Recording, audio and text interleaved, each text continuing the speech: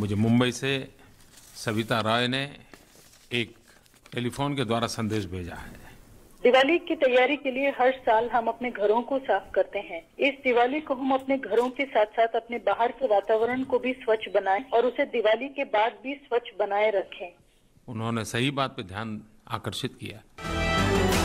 Actually, before, uh, you know, in 2013, I started a campaign called India Kuch Kar, which, अच्छा। which which was about, clean, you know, inspiring people to keep public spaces clean. Okay. So जब मोदी जी ने स्वच्छ भारत की शुरुआत की, I was very, very happy. And uh, so I sent in the suggestion कि, you know, इनके माध्यम से हम लोगों को uh, प्रेरित कर सकते हैं cleanliness के लिए.